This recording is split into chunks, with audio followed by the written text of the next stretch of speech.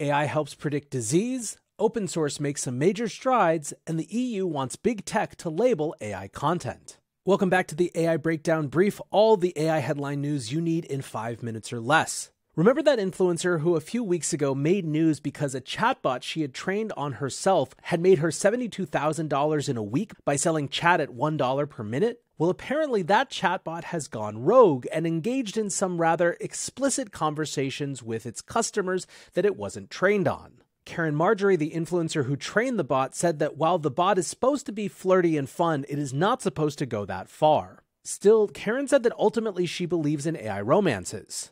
In today's world, she said, my generation, Gen Z, has found themselves to be experiencing huge side effects of isolation caused by the pandemic, resulting in many being too afraid and anxious to talk to someone they are attracted to. Caryn believes that ultimately her bot may bring up to $5 million per month in revenue. Next up, AI for health screening.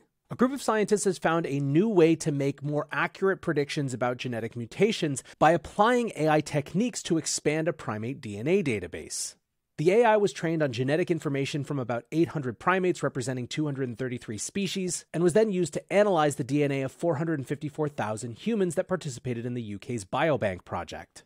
Primate AI 3D was 12% more accurate overall than any previous method of assessing genetic risks of developing health problems such as cardiovascular disease and type 2 diabetes. Now, AI's uses for health and healthcare are just getting started. Carbon Health, for example, is a startup out of San Francisco that's already integrating AI into the medical experience. Carbon launched a new tool on Monday that takes information from appointments, including audio recording information, and then uses a GPT-4 based tool to create instructions for patient care as well as codes for billing and diagnoses. According to the company, the tool can do in about four minutes what a doctor does in 15 minutes, which could mean a lot more patient care. Moving from technology that is here today to technology just in the research stage, Meta has just released some really interesting new research about something they call Hiera. Hiera, they say, is an extremely simple hierarchical vision transformer that's both more accurate than previous models and significantly faster at inference and during training.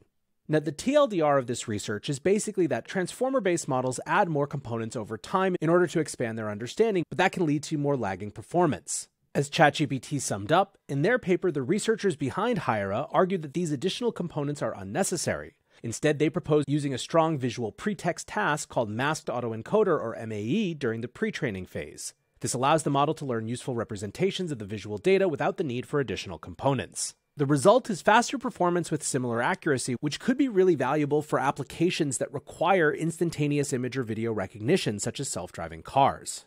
Now, moving over to the realm of open source, Hugging Face's Hugging Chat, which is an open competitor to ChatGPT, has just achieved a new level of feature parity by offering the ability for users to search the web. For those who think having viable open source alternatives to the big closed source models like ChatGPT, this is obviously going to be welcome news. And speaking of open source developments, another one in the Hugging Face ecosystem is the arrival of Falcon. Falcon Hugging Face Writes is a new family of state of the art language models created by the Technology Innovation Institute in Abu Dhabi and released under the Apache 2.0 license.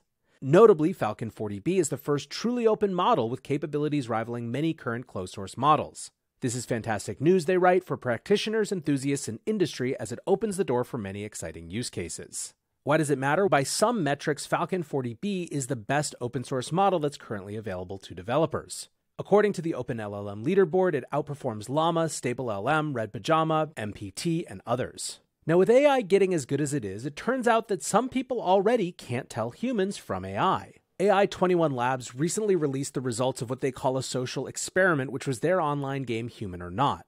The game paired up people for two minutes of conversation using an AI bot powered by GPT 4 and other models and ultimately analyzed more than a million conversations. People had an easier time identifying when they were talking to a human versus when they were talking to a bot. When they were talking to humans, participants guessed that they were talking to humans 73% of the time. When they were talking to bots, however, they only guessed that they were talking to bots 60% of the time.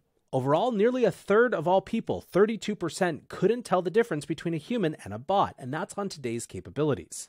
Given that, it's perhaps not surprising then that regulators around the world are looking for some sort of content label to identify content that's been generated by AI. Now, of course, the EU is currently in the process of developing its Artificial Intelligence Act, but it wants Google and Facebook to get out ahead of it and voluntarily create AI generated content labels.